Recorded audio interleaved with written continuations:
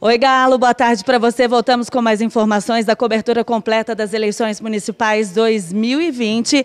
E agora foi a vez do candidato Eduardo Junqueira Dias votar aqui no Colégio Poliedro. A sessão está bem tranquila e o Eduardo já votou. E aí, Eduardo, como está a expectativa para esse domingo? É, como que você avalia toda a campanha? O que, que você tem a dizer nesse domingão? Eu quero primeiro agradecer a todos vocês, a toda a cidade por me receber tão bem dizer que eu saio dessa jornada uma pessoa melhor do que eu cheguei.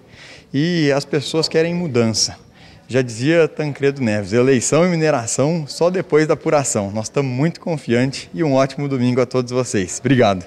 Eduardo, falando da programação do domingo, como vai ser seu dia aí aguardando a apuração, né, no final do dia?